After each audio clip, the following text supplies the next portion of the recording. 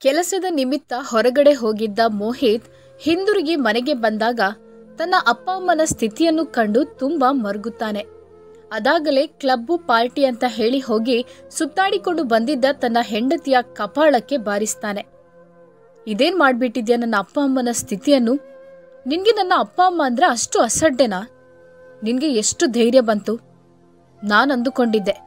ನೀನು ದಿನ ಹೋದಂತೆ ನನ್ನ ಅಪ್ಪ ಅಮ್ಮನನ್ನು ನಿನ್ನ ಅಪ್ಪ ಅಮ್ಮನ ರೀತಿ ನೋಡಿಕೊಳ್ತೀಯ. ಯಾಕಂದ್ರೆ ಕೆಲವೊಂದು ಸಂಬಂಧವನ್ನು ಅರ್ಥ ಮಾಡಿಕೊಳ್ಳುವುದು ಕಷ್ಟವಾಗುವುದರಿಂದ ಸ್ವಲ್ಪ ತಡವಾಗಬಹುದು ಅಂತ. ಛೆ, ಆದ್ರೆ ನೀನು ನನ್ನ ಹೆತ್ತವರನ್ನು ಕೆಲಸದವರಿಗಿಂತ ಕೀಳಾಗಿ ನೋಡ್ತಿದ್ಯಲ್ವಾ ನೀನೇನು ಅಂದುಕೊಂಡಿದ್ದೀಯಾ? ಇದು ಅವರ ಮನೆ. ನಿನ್ನ ಅಪ್ಪಮ್ಮನ ಮನೆಯಿಂದ ತಂದು ಕಟ್ಟಿಸಿದ ಮನೆಯಿಂದ ಅಂದುಕೊಂಡಿದ್ಯಾ ನಿನ್ನಿಂದ ನಾನು ಯಾವುದೇ ವರದಕ್ಷಿಣೆ ತೆಗೆದು ಮದುವೆ ಆಗಿಲ್ಲ ನನಗೆ ಆಸೆ ಇದ್ದದ್ದು ನನ್ನ ಅಪ್ಪ ಅಮ್ಮನನ್ನು ಚೆನ್ನಾಗಿ ನೋಡಿಕೊಳ್ಳೋ ಹೆಂಡತಿ ಬೇಕು ಅಂತ. ಇಂಥ ನೀಚ ಮನಸ್ಸಿನ ಹೆಂಡತಿ ನನಗೆ ಅಗತ್ಯ ಇಲ್ಲ. ಅಯ್ಯೋ ದೇವ್ರೆ, ನನ್ನ ಅಪ್ಪ ಅಮ್ಮನನ್ನು ಯಾವ ಸ್ಥಿತಿಗೆ ತಂದಿದ್ದಾಳೆ? ದಯವಿಟ್ಟು ನನ್ನನ್ನು ಕ್ಷಮಿಸಿಬಿಡಿ ಅಮ್ಮ ಎಂದು ಕಣ್ಣೀರು ಹಾಕುತ್ತಾ ಅಪ್ಪ ಅಮ್ಮನಿಗೆ ಕೈ ಮುಗಿದನು. ಬಿಡಪ್ಪ, ನೀನು ಚಿಂತಿಸ್ಬೇಡ, ಎಲ್ಲವೂ ಸರಿಯಾಗುತ್ತೆ. ಅಪ್ಪ ಅಮ್ಮ ತುಂಬಾ ನೊಂದುಕೊಂಡಿದ್ದರೂ ಆದರೂ ಮಗನಿಗೆ ಸಮಾಧಾನ ಮಾಡಿದ್ರು. ಕೋಪದಲ್ಲಿ ಮೋಹಿತ್ ತನ್ನ ಹೆಂಡತಿಯಲ್ಲಿ ನೀನು ನಿನ್ನ ಬಟ್ಟೆ ಬರಗಳನ್ನು ಕಟ್ಟಿಕೊಂಡು ಇಲ್ಲಿಂದ ನಡಿ ಎಂದನು. ಆಗ ಮೋಹಿತ್ಗೆ ತನ್ನ ಅಪ್ಪ ಅಮ್ಮನನ್ನು ಊರಿಂದ ಇಲ್ಲಿಗೆ ಕರೆದುಕೊಂಡು ಬಂದಿದ್ದನ್ನು ನೆನೆಸುತ್ತಾನೆ. ಒಂದು ದಿನ ಮೋಹಿತ್ನ ಅಮ್ಮನಿಗೆ ಹಾರ್ಟ್ ಅಟ್ಯಾಕ್ ಆಗುತ್ತೆ. ಮೋಹಿತ್ನ ಅಪ್ಪ ಶರ್ಮಾರವರು ನೆರೆಯವರ ಸಹಾಯದಿಂದ ತನ್ನ ಹೆಂಡತಿಯನ್ನು ಆಸ್ಪತ್ರೆಗೆ ದಾಖಲಿಸ್ತಾರೆ. ಆಸ್ಪತ್ರೆಯಲ್ಲಿ ವೈದ್ಯರು ಪರಿಶೀಲನೆ ಮಾಡಿದ ನಂತರ ತುರ್ತು ಚಿಕಿತ್ಸೆ ನಡೆಯಬೇಕು ಎಂದು ಹೇಳುತ್ತಾರೆ. ಆಗ ವೈದ್ಯರು ಹೇಳುತ್ತಾರೆ ಚಿಕಿತ್ಸೆ ಮಾಡಬೇಕಾದ್ರೆ ತುಂಬಾ ಹಣ ಖರ್ಚಾಗುತ್ತೆ. ಆದ್ರೆ ಶರ್ಮಾರವರ ಹತ್ತಿರ ಅಷ್ಟೊಂದು ಹಣ ಇರಲಿಲ್ಲ. ಅಷ್ಟೊಂದು ಹಣ ಇದ್ದಿದ್ರೆ ಈಗಲೇ ಸರ್ಜರಿ ಮಾಡಬಹುದಿತ್ತು ಎಂದು ಅಂದುಕೊಂಡ್ರು. ಕೊನೆಗೆ ಬೇರೆ ದಾರಿ ಕಾಣದೆ ತನ್ನ ಮಗನಿಗೆ ಫೋನ್ ಮಾಡುತ್ತಾರೆ. ಹಲೋ ಹಲೋ, ಮಗನೇ ಕೇಳಿಸ್ತಾ ಇದ್ಯಾ? ನಾನು ನಿನ್ನ ಅಪ್ಪ ಮಾತನಾಡುತ್ತಿದ್ದೇನೆ. ಹೇಳಿ ಅಪ್ಪ, ಏನಾಯ್ತು? ಹೇಗಿದ್ದೀರಾ? ಅಮ್ಮ ಹೇಗಿದ್ದಾರೆ? ಏನಿಲ್ಲಪ್ಪ, ಅಮ್ಮನಿಗೆ ಸ್ವಲ್ಪ ಹುಷಾರಿಲ್ಲದಾಯ್ತು. ಹಾಗೆ ಆಸ್ಪತ್ರೆಗೆ ಕರೆದುಕೊಂಡು ಬಂದಿದ್ದೇವೆ. ಹೌದಾ? ಏನಾಯ್ತಪ್ಪ? ನೀನು ಚಿಂತಿಸ್ಬೇಡ ಮಗನೇ. ಸ್ವಲ್ಪ ಎದೆನೋವು ಬಂತು. ಡಾಕ್ಟರ್ ಪರಿಶೀಲಿಸಿ ಹಾರ್ಟ್ ಅಟ್ಯಾಕ್ ಆಗಿದೆ ಅಂದ್ರು. ಮೋಹಿತ್ಗೆ ತಲೆ ತಿರುಗಿದಂತೆ ಆಯಿತು. ತುಂಬಾ ಸುಸ್ತಾಗಿ ನೆಲದಲ್ಲಿ ಕೂತುಬಿಟ್ಟ. ಕಣ್ಣಲ್ಲಿ ಕಣ್ಣೀರು ಹರಿಯುತ್ತಿತ್ತು. ಅವರು, ಹಲೋ ಮಗನೇ ಹಲೋ ಮಗನೇ ಎಂದು ಮಾತನಾಡುತ್ತಿದ್ದರು. ಮಗನೇ, ಕೂಡಲೇ ಸರ್ಜರಿ ಮಾಡಬೇಕಾಗಿದೆ. ಅದಕ್ಕೆ ಒಂದು ಲಕ್ಷ ಹಣ ಬೇಕಾಗಿದೆ ಎಂದಿದ್ದಾರೆ. ಅಷ್ಟೊಂದು ಹಣ ನನ್ನ ಹತ್ರ ಇಲ್ಲಪ್ಪ. ಯಾಕಪ್ಪ ನನ್ನಲ್ಲಿ ಹೇಳಲಿಲ್ಲ? ನನಗೊಂದು ಫೋನ್ ಮಾಡಿ ಹೇಳ್ಬೋದಿತ್ತಲ್ವಾ? ಯಾಕೆ ತಡ ಮಾಡಿದ್ದೀರಿ? ನಾನು ಕೂಡಲೇ ಬಂದು ಬಿಡುತ್ತೇನೆ. ಡಾಕ್ಟರ್ ಬಳಿ ಹೇಳಿ ಚಿಕಿತ್ಸೆ ಶುರು ಮಾಡಲಿ. ಬೇಡಪ್ಪ, ನೀನು ಬರಬೇಡ. ನೀನು ಹಣ ಕಳಿಸಿದ್ರೆ ಸಾಕು. ನಾನು ಇಲ್ಲಿ ನೋಡಿಕೊಳ್ಳುತ್ತೇನೆ. ಏನ್ ಹೇಳ್ತಿದ್ದೀರಪ್ಪ? ನನ್ನ ಅಮ್ಮ ಸೀರಿಯಸ್ ಇದ್ದಾರೆ. ನಾನು ಬರದೆ ಇಲ್ಲಿ ಕೂತ್ಕೊಳ್ಳೋದಾ? ನಾನು ಈಗ್ಲೇ ಬಂದು ಬಿಡುತ್ತೇನೆ. ಮೋಹಿತ್ ನೇರವಾಗಿ ಮನೆಗೆ ಹೋಗಿ ರೇಖಾ ರೇಖಾ, ಯಾಕ್ರಿ ಹಾಗೆ ಕೂಗ್ತಿದ್ದೀರಾ? ಏನಾಯ್ತು? ನನ್ನ ಅಮ್ಮನಿಗೆ ಹಾರ್ಟ್ ಅಟ್ಯಾಕ್ ಆಗಿದೆ. ನಾವು ಈಗಲೇ ಇಲ್ಲಿಂದ ಹೊರಡಬೇಕು. ಬೇಗ ಬೇಗ ಬ್ಯಾಗ್ ಪ್ಯಾಕ್ ಮಾಡು. ಏನ್ ಹೇಳ್ತಿದ್ದೀರಾ ನೀವು? ವಯಸ್ಸಾದ ನಂತರ ಕೆಲವೊಂದು ರೋಗಗಳು ಬರ್ತಾ ಇರುತ್ತದೆ. ಸಾಮಾನ್ಯ ಅಲ್ವಾ ಇದು? ಅದಕ್ಕೆ ಯಾಕೆ ನೀವು ಇಷ್ಟೊಂದು ಗಡಿಬಿಡಿ ಮಾಡ್ತೀರಾ? ಏನು? ನಿನ್ಗೆ ಇದೊಂದು ಸಾಮಾನ್ಯ ಕಾಯಿಲೆಯಾ? ಅಲ್ಲಿ ಆಸ್ಪತ್ರೆಯಲ್ಲಿ ಮಲಗಿರುವುದು ನನ್ನ ಅಮ್ಮ. ಇವತ್ತು ಹೇಗೆ ಹೋಗುವುದು? ರಾತ್ರಿ ತಂಗಿಯ ಮದುವೆ ವಾರ್ಷಿಕೋತ್ಸವ ಅಲ್ವಾ? ಪಾರ್ಟಿಯನ್ನು ಇಟ್ಕೊಂಡಿದ್ದಾರೆ. ಅದಲ್ಲದೆ ಗಿಫ್ಟ್ ಬೇರೆ ಕೊಡಬೇಕು. ನಾನು ಮನೆಯವರೆಲ್ಲ ಸೇರುವಾಗ ಅದನ್ನೆಲ್ಲ ಬಿಟ್ಟು ಈಗ ಅಲ್ಲಿಗೆ ಬರಬೇಕಾ? ರೇಖಾ, ನಿನಗೆ ನನ್ನ ಅಮ್ಮನಿಗಿಂತ ನಿನ್ನ ತಂಗಿಯ ಆನಿವರ್ಸರಿ ಮುಖ್ಯವಾಯ್ತಲ್ಲ? ನೀನು ಪಾರ್ಟಿಗೆ ಹೋಗು. ನಿನಗೆ ಬರಲು ಇಷ್ಟ ಇಲ್ಲದಿದ್ರೆ ಬೇಡ ಬಿಡು. ನಾನು ಹೋಗುತ್ತೇನೆ. ಮೋಹಿತ್ ಕೂಡಲೇ ಫ್ಲೈಟ್ನಲ್ಲಿ ಬಂದು ಆಸ್ಪತ್ರೆಯಲ್ಲಿ ಅಪ್ಪನನ್ನು ಕಂಡು ಗಟ್ಟಿಯಾಗಿ ತಬ್ಬಿಕೊಂಡು ಭುಜಕ್ಕೆ ತಲೆ ಇಟ್ಟು ಅತ್ತ. ಶರ್ಮಾರವರು ಅವನ ಕಣ್ಣೀರನ್ನು ಒರೆಸುತ್ತಾ, ಸಮಾಧಾನ ಮಾಡಿಕೊ ಮಗ. ನೋಡು, ನಿನ್ನ ಅಮ್ಮನ ಸ್ಥಿತಿ ಹೇಗಿದೆ ಎಂದು. ಚಿಂತಿಸ್ಬೇಡಿ ಅಪ್ಪ. ಶರ್ಮಾರವರು ಅಳುತ್ತಿದ್ದರು. ಮೋಹಿತ್, ಅಪ್ಪ, ನೀವು ಇಲ್ಲಿ ಕುರ್ಚಿಯಲ್ಲಿ ಕೂತ್ಕೊಂಡು ದೇವರಲ್ಲಿ ಪ್ರಾರ್ಥಿಸಿ. ಚಿಂತೆ ಮಾಡಬೇಡಿ. ಎಲ್ಲವೂ ಸರಿಯಾಗುತ್ತೆ. ದೇವ್ರಿದ್ದಾನೆ. ನಾನು ಸ್ವಲ್ಪ ಆ ಕಡೆ ಹೋಗಿ ಬರುತ್ತೇನೆ, ಎಂದು ಮೋಹಿತ್ ಹೊರಟ. ಡಾಕ್ಟರ್ ಹತ್ತಿರ ಮೋಹಿತ್ ಹೋಗಿ, ಡಾಕ್ಟರ್, ನನ್ನ ಅಮ್ಮನ ಚಿಕಿತ್ಸೆಗೆ ಎಷ್ಟೇ ದುಡ್ಡು ಖರ್ಚಾದರೂ ಪರವಾಗಿಲ್ಲ. ನೀವು ಮಾಡಿಬಿಡಿ. ಡಾಕ್ಟರ್ ಮೋಹಿತ್ಗೆ ಭರವಸೆ ನೀಡಿದ್ರು. ನೀವು ಹೆದರಬೇಡಿ. ದೇವರಿದ್ದಾನೆ. ನಾವು ಚಿಕಿತ್ಸೆ ಶುರು ಮಾಡುತ್ತಿದ್ದೇವೆ. ನಾವು ನಮ್ಮ ಕೈಲಾದಷ್ಟು ಪ್ರಯತ್ನವನ್ನು ಮಾಡುತ್ತೇವೆ. ನೀವು ಧೈರ್ಯವಾಗಿರಿ. ನಿಮ್ಮ ತಾಯಿಯನ್ನು ನಾವು ಉಳಿಸಿಕೊಳ್ಳಲು ಪ್ರಯತ್ನಿಸುತ್ತೇವೆ. ಮೋಹಿತ್ ಮನಸ್ಸಿಗೆ ಸ್ವಲ್ಪ ಧೈರ್ಯ ಬಂತು. ವಿಮಲಾರವರ ಚಿಕಿತ್ಸೆ ಪ್ರಾರಂಭವಾಯಿತು. ಮೋಹಿತ್ನ ತಾಯಿಯ ಸರ್ಜರಿಯು ಯಶಸ್ವಿಯಾಗಿ ನಡೆಯಿತು. ಸ್ವಲ್ಪ ಸಮಯದ ನಂತರ ಅವರಿಗೆ ಎಚ್ಚರ ಬರುತ್ತಿದ್ದಂತೆ ಮೋಹಿತ್ ಅಮ್ಮನ ಕೈ ಹಿಡಿದು, ಅಮ್ಮ, ನೋಡಮ್ಮ, ನಾನು ಬಂದಿದ್ದೇನೆ. ವಿಮಲಾರವರ ಕಣ್ಣಲ್ಲಿ ನೀರು ಬಂತು. ಎಲ್ಲವೂ ಸರಿಯಾಗಿದೆಮ್ಮ ನೀನು ಹುಷಾರಾಗಿದ್ಯಾ? ಭಯಪಡುವ ಅಗತ್ಯ ಇಲ್ಲ. ಕೆಲವು ದಿನಗಳು ಆಸ್ಪತ್ರೆಯಲ್ಲಿದ್ದು ನಂತರ ಡಾಕ್ಟರ್ ಡಿಸ್ಚಾರ್ಜ್ ಮಾಡಿದರು. ಮೋಹಿತ್ ಅಪ್ಪ ಅಮ್ಮನನ್ನು ಕಾರಲ್ಲಿ ಮನೆಗೆ ಕರೆದುಕೊಂಡು ಬಂದ. ಮೋಹಿತ್ ಕೆಲವು ದಿನಗಳವರೆಗೆ ಅಪ್ಪ ಅಮ್ಮನ ಜೊತೆಗೇನೆ ಇದ್ದು ಅಮ್ಮನ ಸೇವೆ ಮಾಡುತ್ತಿದ್ದ. ಆದರೆ ಕೆಲಸದಲ್ಲಿ ಬ್ಯುಸಿಯಾಗಿದ್ದ ಮೋಹಿತ್ಗೆ ಮೇಲಿಂದ ಮೇಲೆ ಫೋನ್ ಕಾಲ್ ಬರುತ್ತಿತ್ತು. ಕೆಲಸದ ಒತ್ತಡದಲ್ಲಿದ್ದ ಮೋಹಿತ್ ಅಪ್ಪ ಅಮ್ಮನನ್ನು ಬಿಟ್ಟು ಇರಲಾರದೆ ಕೆಲವೊಂದು ಸಲ ಫೋನ್ ಕಾಲ್ ರಿಸೀವ್ ಮಾಡುತ್ತಿದ್ದ. ಒಮ್ಮೊಮ್ಮೆ ಹಾಗೇನೆ ಕಟ್ ಮಾಡುತ್ತಿದ್ದ. ಇದನ್ನು ಗಮನಿಸಿದ ಶರ್ಮಾರವರು ಮಗ ಮೋಹಿತ್, ನೀನು ಕೆಲಸಕ್ಕೆ ಹೋಗಿಬಿಡು. ತುಂಬಾ ದಿನ ರಜೆ ತೆಗೆದು ಇಲ್ಲಿ ಇರಲು ಸಾಧ್ಯ ಇಲ್ಲ. ನೀನು ಹೋಗಪ್ಪ. ಅಮ್ಮನನ್ನು ನಾನು ನೋಡಿಕೊಳ್ಳುತ್ತೇನೆ. ಮೋಹಿತ್ ತಲೆ ಆಡಿಸಿದ. ಮರುದಿನ ಬೆಳಿಗ್ಗೆ ನಾಲ್ಕೈದು ಬ್ಯಾಗ್ ಪ್ಯಾಕ್ ಮಾಡುತ್ತಿದ್ದ. ಅದನ್ನು ಕಂಡ ಅಮ್ಮ ಮತ್ತು ಅಪ್ಪ, ಏನಿದು ಮೋಹಿತ್? ಇಷ್ಟೊಂದು ಬ್ಯಾಗುಗಳು, ಮನೆಯಲ್ಲಿರುವ ದಿನಸಿ ಸಾಮಗ್ರಿಗಳನ್ನು ಕೂಡ ತಗೊಂಡು ಹೋಗ್ತಿದ್ಯಾ? ಇಲ್ಲಪ್ಪ, ನನ್ನ ಜೊತೆ ನೀವು ಕೂಡ ಬರ್ತೀರಾ? ನಿಮ್ಮ ಬಟ್ಟೆ ಬರೆಗಳು. ಇಲ್ಲ ಮಗನೇ, ನಾವು ಪೇಟೆಗೆ ಬರುವುದಿಲ್ಲ. ಇಲ್ಲೇ ಇರುತ್ತೇವೆ. ಅದು ಅಲ್ಲದೆ ನಿನ್ನ ಹೆಂಡತಿಗೆ ನಮ್ಮನ್ನು ಕಂಡ್ರೆ ಅಷ್ಟೊಂದು ಆಗಿ ಬರುವುದಿಲ್ಲ. ಇಲ್ಲಪ್ಪ, ಅದೆಲ್ಲ ಸರಿಯಾಗುತ್ತೆ. ನನ್ನ ಜೊತೆ ಹೊರಡಿ. ಮಗನ ಮಾತಿಗೆ ನಿರಾಕರಿಸಲಾಗದೆ ಹ್ಞೂ ಅಂದರು. ಅಮ್ಮ ಮತ್ತು ಅಪ್ಪ ಮಗನೊಂದಿಗೆ ಪೇಟೆಯಲ್ಲಿರುವ ತನ್ನ ಮಗನ ಮನೆಗೆ ಬಂದರು. ಮನೆಗೆ ಬರುತ್ತಿರುವ ಅತ್ತೆ ಮಾವನನ್ನು ನೋಡಿ ಮುಖ ಕೆಂಪಾಗಿಸಿಕೊಂಡು ಕೋಪದಿಂದ ಮುಖ ತಿರುಗಿಸಿ ಒಳಗಡೆ ಹೋದಳು ರೇಖಾ. ರೇಖಾಳ ಈ ಸಿಟ್ಟು ಮುಖವನ್ನು ನೋಡಿ ವಿಮಲಾ ಮತ್ತು ಶರ್ಮಾರವರಿಗೆ ಮನೆ ಒಳಗಡೆ ಕಾಲು ಇಡಲು ಹಿಂಜರಿದರು. ಏನಮ್ಮ ಯೋಚಿಸ್ತಿದ್ದೀರಾ? ಇದು ನಿಮ್ಮ ಮಗನ ಮನೆ. ಇಲ್ಲಿ ಪೂರ್ತಿಯಾದ ಅಧಿಕಾರ ನಿಮಗೆ ಇದೆ. ಧೈರ್ಯದಿಂದ, ತುಂಬಾ ಸಂತೋಷದಿಂದ ಒಳಗಡೆ ಬನ್ನಿ ಎಂದು ಅಮ್ಮನ ಕೈ ಹಿಡಿದು ಒಳಗಡೆ ಕರೆದುಕೊಂಡು ಬಂದ. ಅಮ್ಮ, ತುಂಬಾ ಸುಸ್ತಾಗಿದ್ದೀರಿ. ಬನ್ನಿ, ಈ ಕೋಣೆಗೆ ಹೋಗುವ. ಈ ಕೋಣೆ ನಾನು ಮನೆ ಖರೀದಿಸುವಾಗ ನಿಮಗೆ ಸರಿಹೊಂದುವ ಹಾಗೆ ಇದೆಯಲ್ವಾ ಎಂದು ನೋಡಿಕೊಂಡು ಖರೀದಿಸಿದ್ದೇನೆ. ಇದು ನಿಮಗೆ ಅಡ್ಜಸ್ಟ್ ಆದಂತಹ ಕೋಣೆಯಾಗಿದೆ. ಮಗನ ಪ್ರೀತಿ ಕಂಡು ಅಪ್ಪ ಅಮ್ಮನ ಕಣ್ಣಲ್ಲಿ ಆನಂದ ಬಾಷ್ಪ ಹರಿದು ಬಂತು. ಅಪ್ಪ, ಅಮ್ಮ ಮಗನನ್ನು ತಬ್ಬಿಕೊಂಡರು. ಅಮ್ಮ, ನೀವೀಗ ನೀರು ಕುಡಿಯಿರಿ. ಸ್ವಲ್ಪ ವಿಶ್ರಾಂತಿ ಮಾಡಿ. ನಾನು ಚಹಾ ತಿಂಡಿ ವ್ಯವಸ್ಥೆ ಮಾಡಿ ಬರುತ್ತೇನೆ ಎಂದು ಹೊರಗಡೆ ಹೋದ. ಹೊರಗಡೆ ಬರುತ್ತಿದ್ದ ಮೋಹಿತ್ನ ಕೈ ಹಿಡಿದು ಕೋಪದಿಂದ ರೇಖಾ ತನ್ನ ರೂಮಿಗೆ ಕರೆದುಕೊಂಡು ಹೋದಳು. ಏನ್ರಿ, ನಿಮ್ಗೆ ತಲೆ ಸರಿಯಾಗಿದ್ಯಾ? ಯಾರನ್ನು ಕೇಳಿ ನೀವು ಆ ಮುದುಕ ಮುದುಕಿಯನ್ನು ಇಲ್ಲಿಗೆ ಕರೆದುಕೊಂಡು ಬಂದಿದ್ದೀರಿ? ಏನೇ ರೇಖಾ, ಏನನ್ಕೊಂಡಿದ್ಯಾ ನೀನು? ಯಾರ ಬಗ್ಗೆ ಮಾತನಾಡ್ತಿದ್ಯಾ? ಅದು ನನ್ನ ಹೆತ್ತ ತಂದೆ ತಾಯಿ. ನಾಲಿಗೆಯನ್ನು ಹದ್ದು ಬಸ್ತಿನಲ್ಲಿಟ್ಟು ಮಾತನಾಡು. ಮರ್ಯಾದೆ ಕೊಟ್ಟು ಮಾತಾಡು. ನೀನು ಅವರ ಬಗ್ಗೆ ಚಿಂತೆ ಮಾಡಬೇಕಾಗಿಲ್ಲ. ನಾನು ಅವರನ್ನು ನೋಡಿಕೊಳ್ಳುತ್ತೇನೆ. ಒಂದು ಮಾತು ನೆನಪಿಟ್ಟುಕೋ. ನಿನ್ನಿಂದ ಅವರಿಗೆ ಏನಾದರೂ ತೊಂದರೆ ಆದರೆ, ಏನಾದರೂ ನೋವಾದರೆ, ಮತ್ತೆ ನನ್ನಷ್ಟು ಕೆಟ್ಟವ ಯಾರೂ ಇರಲ್ಲ. ಅರ್ಥ ಆಯ್ತಾ? ಎಂದನು ಮೋಹಿತ್. ಅಪ್ಪ ಅಮ್ಮನನ್ನು ನೋಡಿಕೊಳ್ಳುವುದಕ್ಕಾಗಿ ಮೋಹಿತ್ ಒಬ್ಬಳು ಕೆಲಸದಾಳನ್ನು ಇಟ್ಟ. ಅವಳು ಚೆನ್ನಾಗಿ ನೋಡಿಕೊಳ್ಳುತ್ತಿದ್ದಳು. ಆಕೆಗೆ ಮೋಹಿತ್ ಅಪ್ಪ ಅಮ್ಮನ ಕೆಲಸಗಳನ್ನು ಚೆನ್ನಾಗಿ ಮಾಡಬೇಕೆಂದು ಅರ್ಥ ಮಾಡಿಸಿದ್ದ. ಒಂದು ದಿನ ಮೋಹಿತ್ಗೆ ಮೀಟಿಂಗ್ ಎಂದು ಕೆಲವು ದಿನಗಳ ಕಾಲ ಹೊರಗಡೆ ಹೋಗ್ಬೇಕಿತ್ತು. ಆಗ ಕೆಲಸದಾಕೆಯನ್ನು ಕರೆದು ಹೇಳಿದ, ನೋಡು, ನಾನು ಕೆಲವು ದಿನಗಳು ಮನೆಯಲ್ಲಿ ಇರುವುದಿಲ್ಲ. ನನ್ನ ಅಪ್ಪ ಅಮ್ಮನಿಗೆ ಯಾವುದೇ ತೊಂದರೆ ಆಗದ ರೀತಿಯಲ್ಲಿ ನೀನು ನೋಡಿಕೊಳ್ಬೇಕು. ಆಗ ವಿಮಲಾರವರು ನೀನ್ ಯಾಕಪ್ಪ ಚಿಂತೆ ಮಾಡ್ತೀಯ? ನೀನು ನಿಶ್ಚಿಂತೆಯಿಂದ ಮೀಟಿಂಗ್ ಹೋಗಿ ಬಾ. ಮಗನ ತಲೆ ಮೇಲೆ ಕೈ ಹಾಕಿ ಸವರಿದರು. ಮೋಹಿತ್ ಹೊರಗಡೆ ಹೋಗಿ, ಒಂದು ದಿನ ಆಯಿತಷ್ಟೆ. ರೇಖಾ ಶುರು ಮಾಡಿ ಬಿಟ್ಲು ವಟ ವಟ ಎಂದು ಬಾಯಿಗೆ ಬಂದ ಹಾಗೆ ಮಾತನಾಡಲು. ಇವರಿಗೇನು ಗೊತ್ತು, ಇಲ್ಲಿಯ ಕಷ್ಟ? ಸಿಟಿಯಲ್ಲಿ ಮನೆ ಮಾಡಿದ್ರೆ ಎಷ್ಟು ಖರ್ಚಿದೆ ಅಂತ ಹೇಳಿ ಈ ಮುದುಕ ಮುದುಕಿಗೆ ಗೊತ್ತಿದ್ಯಾ? ದುಡ್ದಿದ್ದೆಲ್ಲ ಖರ್ಚಿಗೇನೆ ಆಯ್ತು. ಯಾರ ಸಂಪಾದನೆ ಇದೆ ಎಂದು? ಇಡೀ ಮನೆಯನ್ನು ಔಷಧಾಲಯ ಮಾಡಿಬಿಟ್ಟಿದ್ದಾರೆ. ಎಲ್ಲಿ ನೋಡಿದ್ರು ಮದ್ದು ಮದ್ದು ಮದ್ದು. ಇದನ್ನು ಕೇಳಿದ ಶರ್ಮಾ ಮತ್ತು ವಿಮಲಾರಿಗೆ ತುಂಬಾ ನೋವಾಯಿತು. ಆದರೆ ಏನೂ ಮಾತನಾಡದೆ ಸುಮ್ಮನಾದರು. ಮೋಹಿತ್ ಹೋದ ನಂತರ ಕೆಲಸದಾಕೆಗೆ ರಜೆ ಕೊಟ್ಟು ನೀನು ಮನೆಗೆ ಹೋಗು. ಕೆಲಸವನ್ನು ಮಾಡಲು ಜನ ಇದ್ದಾರೆ ಈಗ ಎಂದು ಕಳುಹಿಸಿಕೊಟ್ಟಳು ರೇಖಾ. ಕೆಲಸದಾಕೆಯನ್ನು ಕಳುಹಿಸಿ ಕೆಲಸವನ್ನು ಮಾವ ಶರ್ಮಾರವರಲ್ಲಿ, ಮಾವ, ನಿಮಗೆ ಸುಮ್ಮನೆ ಇರಲು ಬೇಸರವಾಗ್ತಿದೆ ಅಲ್ವಾ? ಆಕೆ ರಜೆಯಲ್ಲಿದ್ದಾಳೆ. ನನಗೆ ಎಲ್ಲ ಮನೆ ಕೆಲಸ ಮಾಡಲು ಸಾಧ್ಯವಿಲ್ಲ.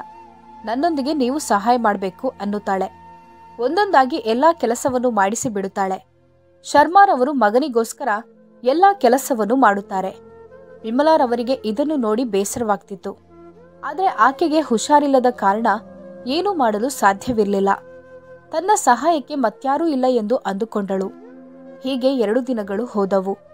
ಒಂದು ದಿನ ರೇಖಾ ಅತ್ತೆಯ ಹತ್ತಿರ ರೂಮಿಗೆ ಬಂದು ಸಾಕು ಅತಿಥಿಗಳಾಗಿ ಮಲಗಿದ್ದು, ಇನ್ನು ಎದ್ದೇಳಬೇಕು. ಹೀಗೆ ಸುಮ್ಮನೆ ಮಲಗಿಬಿಟ್ರೆ ವೃದ್ಧಾಪ್ಯದಲ್ಲಿ ಕೈಕಾಲು ಸರಿ ಬಾಗಿ ಬರದು. ಎದ್ದು ನನಗೆ ಅಡುಗೆ ಮನೆಯಲ್ಲಿ ಸಹಾಯ ಮಾಡಿ. ಅದನ್ನು ಕೇಳಿದ ಶರ್ಮಾರವರು ಏನು ಮಗಳೇ, ನಿನ್ನ ಅತ್ತೆ ಈಗಾಗಲೇ ಸರ್ಜರಿಯಾಗಿ ಬಂದವಳು. ಅವಳಿಗೆ ವಿಶ್ರಾಂತಿ ಅವಶ್ಯಕತೆ ಇದೆ. ಆಕೆ ಮನೆ ಕೆಲಸ ಮಾಡಲು ಸಾಧ್ಯ ಇಲ್ಲ. ಹೌದೌದು. ವಿಶ್ರಾಂತಿ ಮಾಡಿದ್ರೆ ಧರ್ಮಕ್ಕೆ ಉಚಿತವಾಗಿ ನಿಮ್ಗೆ ಊಟ ಸಿಗುತ್ತದಲ್ವಾ? ನೋಡಿ ನೋಡಿ, ಯಾರ್ದೋ ದುಡ್ಡು ಯಲ್ಲಪ್ಪನ ಜಾತ್ರೆ. ಯಾಕೆ ಮಗಳೇ, ಈ ರೀತಿ ಮಾತನಾಡಿ ಮನಸ್ಸನ್ನು ನೋಯಿಸ್ತಾ ಇದ್ಯಾ ನೀನು ಬೇರೆ ಯಾರೂ ಅಲ್ಲ ಅಲ್ವಾ? ನನ್ನ ಮಗನ ಹೆಂಡತಿ.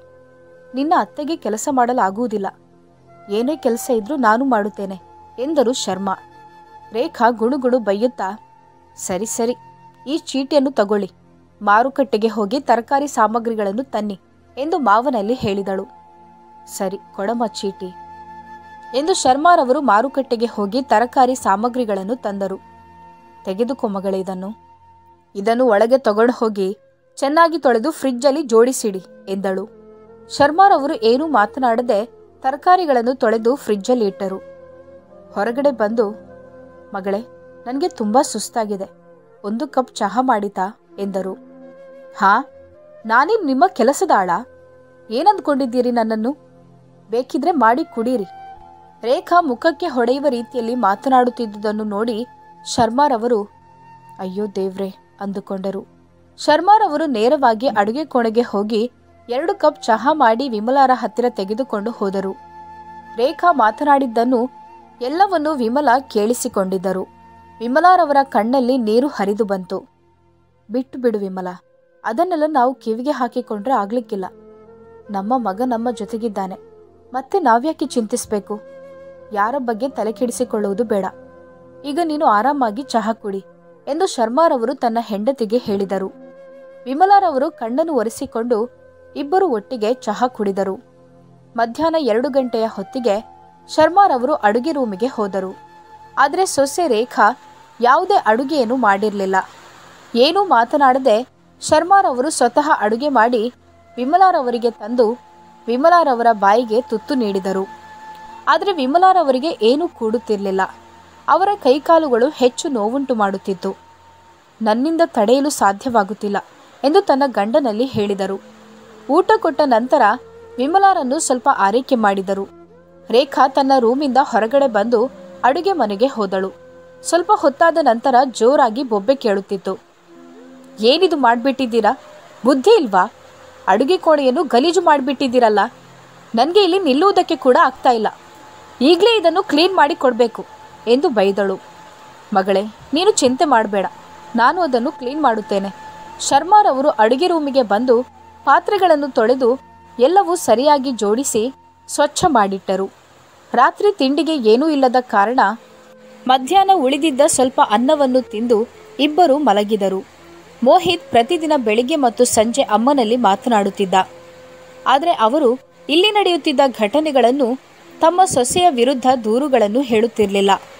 ಆದ್ದರಿಂದ ಅವನು ತುಂಬ ಸಂತೋಷದಲ್ಲಿದ್ದ. ಒಂದು ದಿನ ಬೆಳಿಗ್ಗೆ ರೇಖಾ ತನ್ನ ಮಾವನಲ್ಲಿ ಇನ್ನೂರು ರೂಪಾಯಿ ಹಣವನ್ನು ಕೊಟ್ಟು ತರಕಾರಿಗಳನ್ನು ತನ್ನಿ ಎಂದಳು. ಅದರ ಬಿಲ್ಲುಗಳನ್ನು ಒಂದು ಚೀಟಿಯಲ್ಲಿ ಬರೆದು ತರಬೇಕು ಎಂದಳು. ಆಯ್ತು ಎಂದು ತಲೆ ಅಲ್ಲಾಡಿಸಿ ಶರ್ಮಾರವರು ಮಾರುಕಟ್ಟೆಗೆ ಹೋಗಿ ತರಕಾರಿಗಳನ್ನು ಖರೀದಿಸುವಾಗ ಆತನಲ್ಲಿ ಹೇಳಿದರು. ಮಗ, ಇದನ್ನು ಒಂದು ಚೀಟಿಯಲ್ಲಿ ಬರೆದು ನನಗೆ ಕೊಡು ಎಂದರು. ವ್ಯಾಪಾರಿ ತರಕಾರಿ ಹೆಸರು ಮತ್ತು ಅದರ ಹಣವನ್ನು ಬರೆದು ಮೊತ್ತವನ್ನು ಬರೆದುಕೊಟ್ಟನು. ಶರ್ಮಾರವರಿಗೆ ಸಂತೋಷವಾಯಿತು. ತನ್ನ ಸೊಸೆಗೆ ಇನ್ನೂ ಯಾವುದೇ ರೀತಿಯ ಸಂಶಯ ಇರಲಿಕ್ಕಿಲ್ಲ. ಆದರೆ ಅದು ಚಳಿಗಾಲವಾಗಿತ್ತು. ಶರ್ಮಾರವರಿಗೆ ತುಂಬ ಚಳಿಯಾಗುತ್ತಿತ್ತು.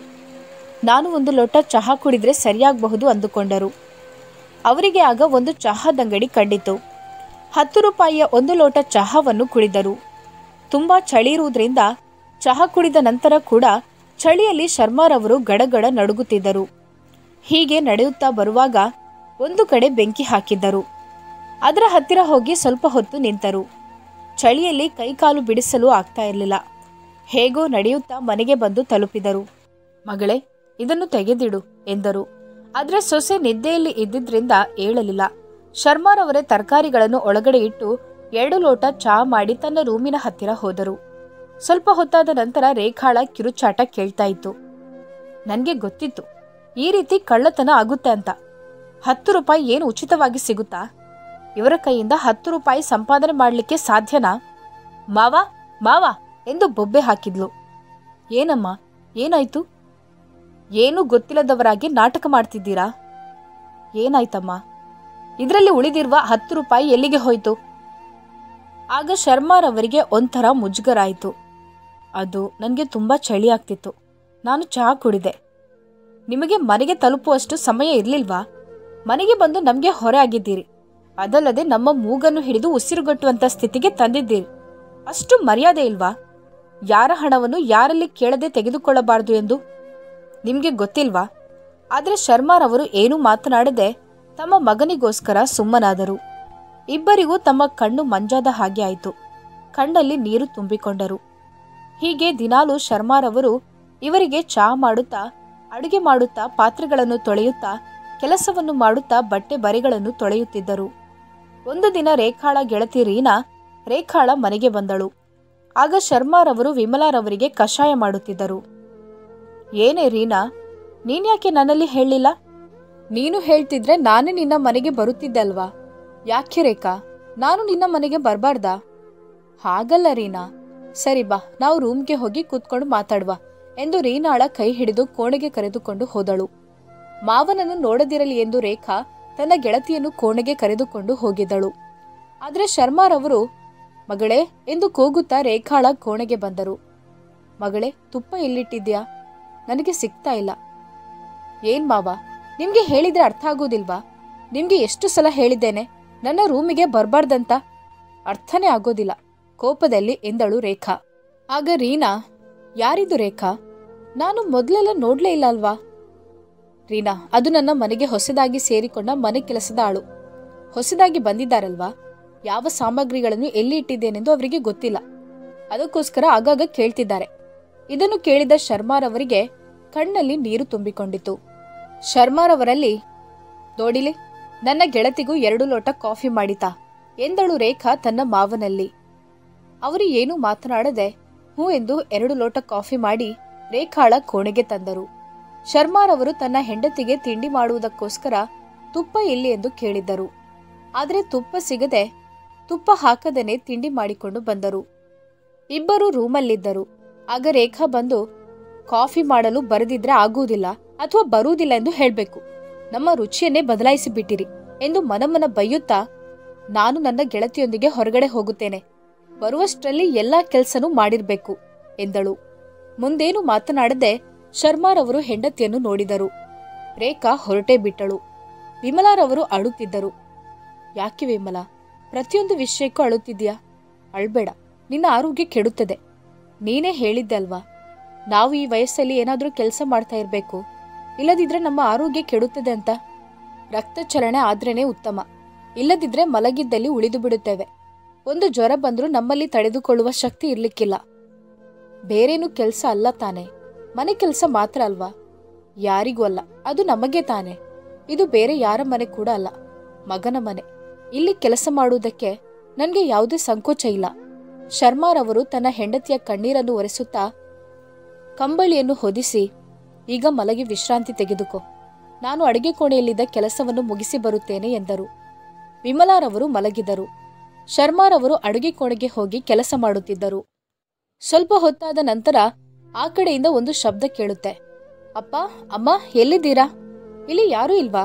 ಎಲ್ಲಿದ್ದೀರಾ ಅಮ್ಮ? ಯಾರೂ ಕಾಣಿಸ್ತಾ ಇಲ್ವಲ್ಲ? ನಾನು ನಿಮ್ಗೆ ಏನು ತಂದಿದ್ದೇನೆ ನೋಡಿ ಬನ್ನಿ. ಅಪ್ಪ, ಅಮ್ಮ, ಎಂದು ಕೂಗುತ್ತಾ ಅಪ್ಪ ಅಮ್ಮನ ಕೋಣೆಗೆ ಬಂದನು ಮೋಹಿತ್. ಬರುತ್ತಲೇ, ಅಮ್ಮ ಹೇಗಿದ್ದೀರಾ? ಅಮ್ಮನ ಕಾಲಿಗೆ ಬಿದ್ದು ಆಶೀರ್ವಾದ ತೆಗೆದುಕೊಂಡನು. ಮಗನನ್ನು ಕಂಡಾಗ ವಿಮಲಾರವರ ಕಣ್ಣಲ್ಲಿ ಆನಂದ ಭಾಷ್ಪ ಉಕ್ಕಿ ಬಂತು ಅಮ್ಮ ನಾನಿಮ್ಗೆ ನಿಮ್ಗೆ ಏನ್ ತಂದಿದ್ದೇನೆ ನೋಡಿ, ದೆಹಲಿಯಿಂದ ಶಾಲು ಸ್ವೆಟರ್ ಎಲ್ಲ ತಂದಿದ್ದೇನೆ. ಅಪ್ಪ ಎಲ್ಲಿ ಅಮ್ಮ, ಆವಾಗಿನಿಂದ ನೋಡ್ತಾ ಇದ್ದೇನೆ. ಅಪ್ಪ ಕಾಣಿಸ್ತಾನೆ ಇಲ್ಲ. ಆಗ ಅಮ್ಮ ತಡೆಯಲಾರದೆ ಮಗನಲ್ಲಿ ನಡೆದ ವಿಷಯ ಎಲ್ಲವನ್ನು ಹೇಳಿಬಿಟ್ಟರು. ಮಗ ಅಡುಗೆ ರೂಮಿಗೆ ಹೋಗಿ ನೋಡುವಾಗ ಅಪ್ಪ ಪಾತ್ರೆಗಳನ್ನು ತೊಳೆಯುತ್ತಿದ್ದರು. ಏನ್ ಮಾಡ್ತಿದ್ದೀರಪ್ಪ? ಅಪ್ಪನನ್ನು ನೋಡಿದಾಗ ಮೋಹಿತ್ಗೆ ಆಕಾಶವೇ ತಲೆಯ ಮೇಲೆ ಬಿದ್ದ ಹಾಗಾಯ್ತು ತಲೆ ಗಿರಗಿರನೆ ಸುತ್ತಾಡಿತು. ಕಣ್ಣಲ್ಲಿ ನೀರು ತುಂಬಿಕೊಂಡಿತ್ತು. ನೀನ್ ಯಾವಾಗ ಬಂದೆ ಮಗನೇ? ನನ್ನ ಕೆಲಸ ಬೇಗನೆ ಮುಗಿಯಿತು ಅದರಿಂದ ಎರಡು ದಿನ ಮುಂಚೆನೆ ಬಂದು ಬಿಟ್ಟಪ್ಪ. ಅಷ್ಟರಲ್ಲಿ ರೇಖಾ ಮನೆಗೆ ಬಂದು ಬಿಟ್ಟಳು. ಮೋಹಿತ್ನನ್ನು ಕಂಡು ಆಶ್ಚರ್ಯಗೊಂಡಳು. ಸ್ವಲ್ಪ ಭಯವಾದ್ರೂ, ಮೋಹಿತ್, ನೀವು ಯಾವಾಗ ಬಂದ್ರಿ? ಎರಡು ದಿನ ಕೆಲಸ ಇದೆ ಎಂದು ಹೇಳಿದ್ದೀರಲ್ವಾ? ಯಾಕೆ ನನಗೆ ಹೇಳಿಲ್ಲ? ಎಂದು ಏನೂ ನಡೆಯದ ರೀತಿಯಲ್ಲಿ ವರ್ತಿಸಿದಳು. ರೇಖಾ ಹತ್ತಿರ ಬರುತ್ತಿದ್ದಂತೆ ಕಪಾಳಕ್ಕೆ ಒಂದು ಬಾರಿಸಿದ. ಏನಂದ್ಕೊಂಡಿದ್ಯಾ ನನ್ನ ಅಪ್ಪ ಅಮ್ಮನನ್ನು? ಅಪ್ಪ, ಅಮ್ಮ ದೇವರಿಗೆ ಸಮಾನ. ಅವರನ್ನು ಈ ರೀತಿ ನೋಡಿಕೊಂಡಿದ್ಯಾ? ನಿನ್ನ ಅಪ್ಪ, ಅಮ್ಮ ಆಗಿದ್ರೆ ಈ ರೀತಿ ಮಾಡ್ತಾ ಇದ್ಯಾ? ಇದು ನಿನ್ನ ಅಪ್ಪ, ಅಮ್ಮನ ಮನೆಯಿಂದ ತಂದು ಕಟ್ಟಿಸಿದ ಮನೆಯಲ್ಲ. ಅವರ ಮಗನ ಮನೆ. ಅವರಿಗೆ ಸಂಪೂರ್ಣ ಅಧಿಕಾರ ಈ ಮನೆಯಲ್ಲಿದೆ. ನಾನು ಅಂದುಕೊಂಡಿದ್ದೆ. ಕೆಲವು ದಿನಗಳ ನಂತರ ನನ್ನ ಅಪ್ಪ, ಅಮ್ಮನಿಗೂ ನಿನ್ನ ಅಪ್ಪ, ಅಮ್ಮನ ರೀತಿ ಸಮಾನತೆಯನ್ನು ಕೊಡುತ್ತೀಯ ಎಂದು. ಯಾಕಂದ್ರೆ ಕೆಲವೊಂದು ಸಂಬಂಧಗಳು ಮಾಡಿಕೊಳ್ಳುವುದಕ್ಕೆ ಸಮಯ ಬೇಕಾಗ್ತದೆ. ನಾನು ಹೋದ ನಂತರ ನನ್ನ ಅಪ್ಪ, ಅಮ್ಮನನ್ನು ಕೆಲಸದಾಳುಗಳಿಗಿಂತ ಕಡೆಯಾಗಿ ನೋಡಿಕೊಂಡಿದ್ದೀಯಾ? ನೋವು ಕೊಟ್ಟಿದ್ದೀಯಾ? ಇದರ ಪ್ರತಿಯೊಂದು ಚಕ್ರ ಬಡ್ಡಿ ಸಮೇತ ನೀನು ತಿಂದೇ ತಿನ್ನುತ್ತೀಯ? ಕಾಲವು ಎಲ್ಲರಿಗೂ ತಿಳಿದು ಬರುತ್ತೆ. ಕರ್ಮ ಯಾರನ್ನೂ ಬಿಡುವುದಿಲ್ಲ. ಅದು ನಿನ್ಗೆ ನೆನಪಿರಲಿ. ನೀನು ಸರಿಯಾಗ್ತೀಯ ಎಂದು ನಾನು ಅಂದುಕೊಂಡಿದ್ದೆ. ನೀನು ಸರಿಯಾಗುವ ಜಾತಿಯವಳಲ್ಲ. ನೀನು ನಿನ್ನ ಬಟ್ಟೆ ಬರಗಳನ್ನು ಪ್ಯಾಕ್ ಮಾಡಿ ಹೊರಗಡೆ ನಡಿ. ರೀ, ನನ್ನನ್ನು ಕ್ಷಮಿಸಿಬಿಡಿ. ನನ್ನಿಂದ ತಪ್ಪಾಯ್ತು. ಕ್ಷಮಿಸಿಬಿಡಿ. ಶರ್ಮಾರವರು, ಬಿಡು ಮಗನೇ. ಅದನ್ನೆಲ್ಲ ದೊಡ್ಡ ವಿಷಯ ಮಾಡಬೇಡ. ನೋಡೆ, ಇಲ್ಲಿ ನೋಡೆ, ಇಷ್ಟೆಲ್ಲ ಅವರಿಗೆ ನೋವು ಕೊಟ್ಟರು ಒಂದು ವಿಷಯವಾದರೂ ಅವರು ನನ್ನಲ್ಲಿ ಹೇಳಿದ್ರಾ? ಇಂಥ ನನ್ನ ಅಪ್ಪ ಅಮ್ಮನಿಗೆ ನೀನು ಕೆಲಸದಾಳಿಗಿಂತ ಕಡೆಯಾಗಿ ನೋಡಿದ್ಯಲ್ವಾ? ನೀನು ಒಬ್ಳು ಮನುಷ್ಯಳ. ನಡಿ ಇಲ್ಲಿಂದ ಎಂದು ಆಕೆಯ ಕೈ ಹಿಡಿದು ಕೋಪದಿಂದ ಹೊರಗಡೆ ದೂಡಿದನು. ರೇಖಾ ತನ್ನ ಅತ್ತೆಯ ಕಾಲ ಕೆಳಗೆ ಬಂದು, ಅತ್ತೆ, ನನ್ನನ್ನು ಕ್ಷಮಿಸಿಬಿಡಿ. ಇನ್ನು ಮುಂದೆ ನಾನು ಈ ರೀತಿ ಮಾಡಲಾರೆ. ನಾನು ನಿಮಗೆ ತುಂಬಾ ನೋವು ಕೊಟ್ಟಿದ್ದೇನೆ. ನನ್ನನ್ನು ಕ್ಷಮಿಸಿ ಅತ್ತೆ ಮೋಹಿತ್ ಕೋಪದಿಂದ, ನಡಿ ಇಲ್ಲಿಂದ ಎಂದು ಕಿರುಚಿದನು. ಅಮ್ಮ, ಅವಳಿಗೆ ಕ್ಷಮೆ ಕೊಡಬೇಡ. ಆಗ ರೇಖಾ ಮಾವನ ಹತ್ತಿರ ಬಂದು, ಮಾವ, ದಯವಿಟ್ಟು ನನ್ನನ್ನು ಕ್ಷಮಿಸಿ. ಇನ್ನು ಮುಂದೆ ಈ ರೀತಿ ಯಾವ ತಪ್ಪನ್ನು ನಾನು ಮಾಡುವುದಿಲ್ಲ. ನೀವು ನನ್ನ ಅಪ್ಪನ ಸಮಾನ. ಅಪ್ಪ ಮಕ್ಕಳನ್ನು ಕ್ಷಮಿಸುತ್ತಾರಲ್ವಾ? ನನ್ನನ್ನು ಕ್ಷಮಿಸಿ ಎಂದು ತುಂಬಾ ಅಂಗಲಾಚಿದಳು. ಮಗನೇ, ಆಯ್ತು, ಬಿಟ್ಟು ಬಿಡು. ನಡೆದದ್ದು ನಡೆದು ಹೋಯಿತು. ಇನ್ನು ಮುಂದೆ ಆ ರೀತಿ ನಡೆಯಲಾರದು. ಇಲ್ಲಪ್ಪ, ಇದು ಸರಿಯಾಗುವ ಮನುಷ್ಯಳೇ ಅಲ್ಲ. ಅಲ್ಲರಿ, ನಿಮ್ಗೆ ನಾನು ಅಂದ್ರೆ ಇಷ್ಟ ಇಲ್ವಾ? ನನ್ನಲ್ಲಿ ಪ್ರೀತಿ ಇಲ್ವಾ? ನಾನು ನಿಮ್ಮನ್ನು ಪ್ರೀತಿಸುತ್ತೇನೆ ಅಲ್ವಾ? ಹೌದು, ನನಗೆ ನಿನ್ನಲ್ಲಿ ಪ್ರೀತಿ ಇದೆ. ಅದೇ ಪ್ರೀತಿ ನನ್ನ ಅಪ್ಪ ಅಮ್ಮನಲ್ಲೂ ಇದೆ. ಮಮತೆ ವಾತ್ಸಲ್ಯ ಅಲ್ಲಿ ಹೆಚ್ಚಾಗಿದೆ. ಆದ್ರೆ ಅದರ ಬೆಲೆ ಏನು ಎಂದು ನಿನಗೆ ತಿಳಿಯದಾಯ್ತಲ್ವಾ? ನಿನ್ನ ನಾನು ಕ್ಷಮಿಸಿದ್ರೆ ಮುಂದೆ ಈ ರೀತಿ ಘಟನೆಗಳು ನಡೆಯುತ್ತಲೇ ಇರುತ್ತದೆ. ಅದು ಸರಿಯಾಗಬೇಕೆಂದಿದ್ರೆ ನೀನು ಇಲ್ಲಿಂದ ನಡೆಯಲೇಬೇಕು. ಆಗ ಎಲ್ಲರಿಗೂ ಬುದ್ಧಿ ಬರುತ್ತೆ. ಕ್ಷಮಿಸು ಮಗನೇ. ಈ ಸಲ ಒಂದು ಸಲ ಕ್ಷಮೆ ಕೊಡು. ಇಲ್ಲಪ್ಪ, ನಿಮ್ಮನ್ನು ಚೆನ್ನಾಗಿ ನಾನು ನೋಡಿಕೊಳ್ಳುತ್ತೇನೆ. ನನಗೆ ಯಾರ ಅಗತ್ಯನೂ ಇಲ್ಲ. ಕೋಪದಿಂದ, ನಡಿ ಇಲ್ಲಿಂದ ಎಂದು ದೂಡಿ ಹಾಕಿದನು. ರೇಖಾ ಕಣ್ಣೀರು ಹಾಕುತ್ತಾ ಪಶ್ಚಾತ್ತಾಪ ಪಡುತ್ತಾ ತನ್ನ ತವರು ಮನೆಗೆ ಹೊರಟಳು. ಅತ್ತೆ ಮಾವ ಎಂದರೆ ಅಪ್ಪ ಅಮ್ಮನಿಗೆ ಸಮಾನ. ಈ ಕಥೆಯಲ್ಲಿ ಮೋಹಿತ್ ರೇಖಾಳಿಗೆ ಮಾಡಿದ್ದು ಸರಿಯಾ ತಪ್ಪ ಎಂದು ನೀವು ಕಾಮೆಂಟ್ ಮೂಲಕ ನಮಗೆ ತಿಳಿಸಿ.